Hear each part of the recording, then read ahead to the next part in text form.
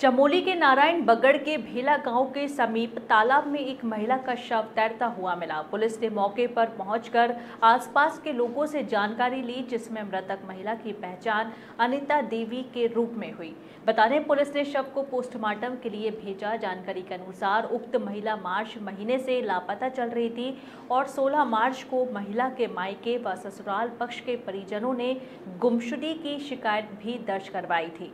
वहीं अब जाकर गाँव के ही पास बने तालाब में महिला का शव मिला। यह मामला राजस्व क्षेत्र नारायणगढ़ का है। सोलह तीन दो हज़ार बाईस को एक महिला अनिता देवी की गुमशुदगी दर्ज की गई थी। उसके बाद विवेचना राजस्व राजस्व पुलिस से रेगुलर पुलिस के पास में आई। तो दौरान विवेचना के उस महिला के काफ़ी तलाश, सुरक्षा से पता रसी की गई। लेकिन तब तब तक कुछ महिला का सब नहीं मिला था। कल कुछ ग्रामीणों ने उस महिला का शव किसी तालाब में देखा तो उसकी सूचना फिर उन लोगों ने परिजनों को दी और परिजनों ने फिर पुलिस को दी। पंचायतनामा की कार्रवाई करके पोस्टमार्टम में जो भी रिज़ल्ट आएगा, उसके तहत कार्रवाई की जाएगी।